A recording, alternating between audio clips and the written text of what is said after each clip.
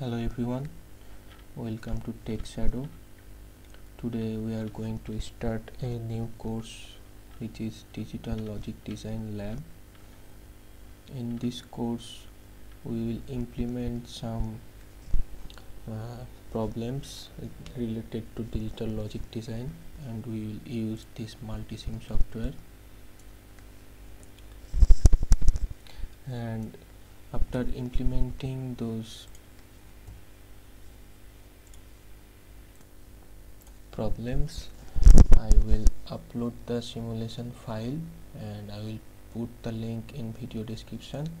And you can download the simulation file and you can practice in your PC or laptop. So let's start. Today's topic title is studying different digital integrated circuits. And today we'll implement a simple problem. We will place a NAND gate here and we will check the conditions of NAND gate that NAND gate is uh, working successfully or not. So before starting uh, we have to know there are seven basic logic gates and or not not NAND X not XOR and every gates has its own pin config configuration like and it has its pin conf configuration 74HC08 and you don't uh, need to know the this characters values HC you just you have to know the uh, numerical values.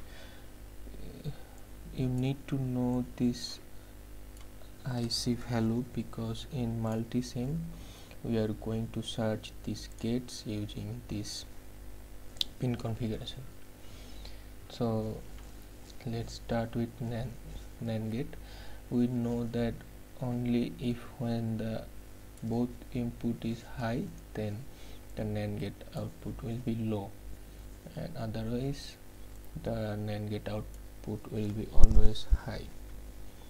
So let's see here the pin configuration of NAND gate is 7400N or 7400 so you have to search this NAND gate in multisim for searching this component. Just click here place TTL in the left hand side.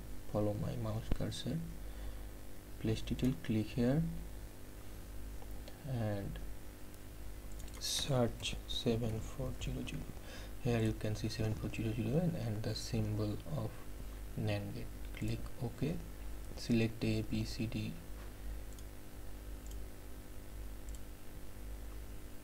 Anything. And now we will check if the output is high on light will be on and if output is low light will be off for this we need a light. So search probe. Okay so you can see probe. We cannot find the probe because the group is selected TTL we have to select all groups then right probe.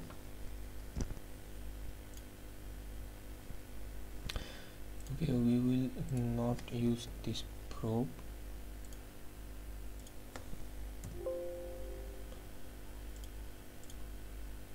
we'll use the probe digital red. Uh, you can use any one as you wish. So place the probe here. Now for input a and b 0 and 1 or 0 0 we need some constant value.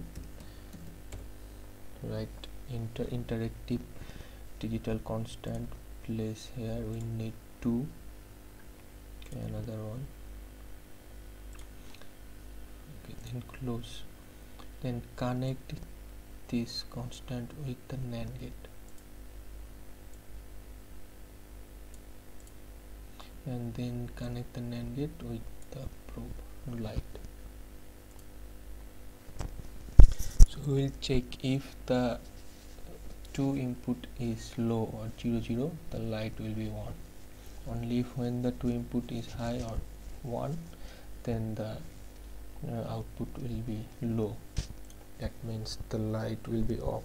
So both input is low 0 0 let's run the project. Here you can see the light is 1 if we change this 0 1 light is on if we change this 1 0 light is on. If we change this on on the light is off.